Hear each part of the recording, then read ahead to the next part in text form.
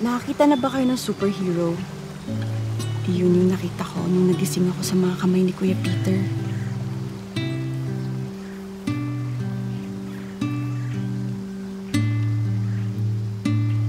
Si Kuya Peter mo, Mia. First time kong naramdaman yun. Kuya? Mia. Mia po. Si Peter ang pinakamaganda kong karanasan. Ilang taon ka na? 18 po. Birthday ko ngayon. At pinakamalaki kong pagkakamali. Yung pag-dedicate mo nung kanta para sa akin. Para sa akin yun, di ba? Tama? Oo. para sa ipagpapaloob ng mga kasalanan at ipagpapanugod ng aming bayan.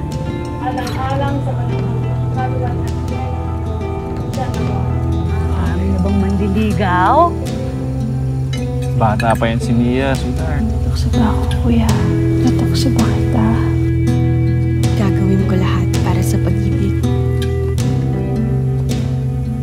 Bastos!